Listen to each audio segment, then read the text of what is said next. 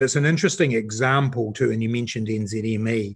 Uh, we do have to be careful about ascribing the problems of every business to COVID 19.